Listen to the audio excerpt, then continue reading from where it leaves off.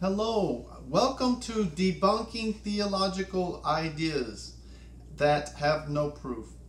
Okay, um, the points I want to cover is uh, when when the Bible in Genesis 1 talks about God said, Be fruitful and multiply and replenish the earth, this is woman's curse that is discussed in chapter 3. And then it says, uh, Behold, God said, I have given you every green herb and every seed bearing plant.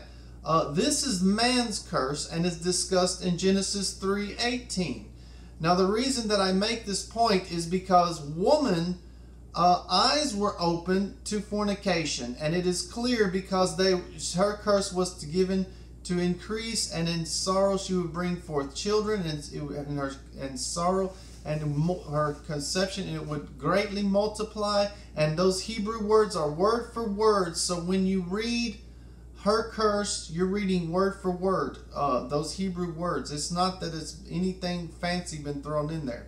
And so um, so understand that these are just two points that i have to clarify because um, it's discussed here. And you know that in chapter 2 it discusses man being formed out of dust, which uh, atheists say is stardust, which has which has substance to it of of creating life, not the dust that we see here that we know will not create life. That is just dust from from mud and dirt, and so. Um, uh, but that's discussed in woman's created and how she's created from a rib from man, and then man names every animal because there were probably multiple of men's because it states it. I've done another YouTube about this.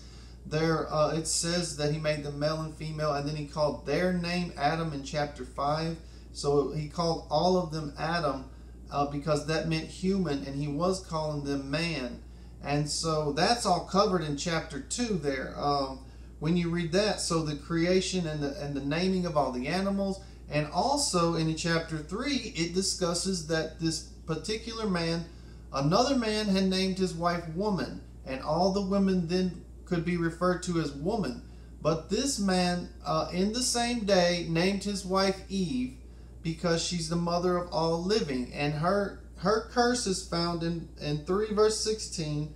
The uh, I will greatly multiply thy sorrow in conception. Thy sorrow shall bring forth children and thy desire shall be to thy husband, he shall rule over thee. And then to Adam, he says, Because thou hast eating of the tree. And this is why it's it's all herbs are for Adam to eat. Uh, and this is why it says this in chapter 1. Uh, because he said of the tree that, that thou I have commanded thee not to eat. Cursed is the ground for thy sake. In sorrow thou shalt eat of it, the tree. Okay? See how I'm holding my hand like a tree? This tree is the example. The theologians want to start reading it. Cursed is the ground for thy sake. In sorrow thou shalt eat of it, but not eat of the tree of knowledge of good and evil, which was a mind altering herb tree. And the Bible even speaks of herbs here.